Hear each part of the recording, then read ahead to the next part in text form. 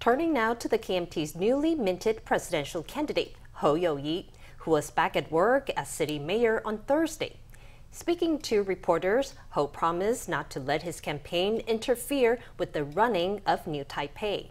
When asked if he might take leave as mayor to focus on the race, Hou said that if he does, he will donate his salary and then some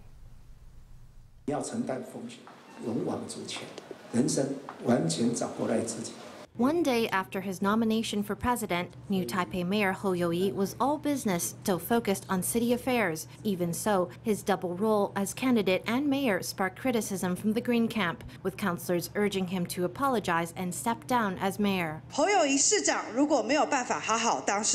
If Mayor Hou Yu-ih can't properly devote himself to being a mayor, then he should do what he did in 2018 when he resigned as deputy mayor to run for mayor. It simplifies matters. Resign as mayor to run for president.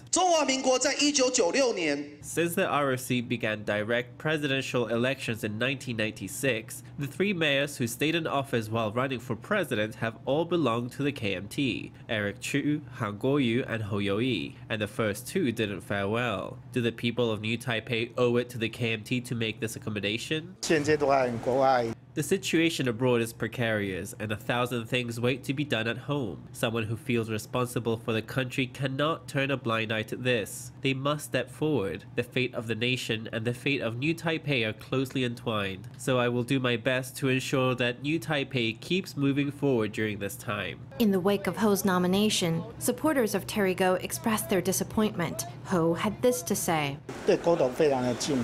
I have tremendous admiration for Chairman Gou. His three ideals of peace, prosperity, and integrity, I feel they're excellent. I have always emphasized one thing. Society must be fair, cross-strait relations must be peaceful, and the nation must be tranquil. Hou said that if he takes leave from his mayor's duties to campaign, he will donate his salary.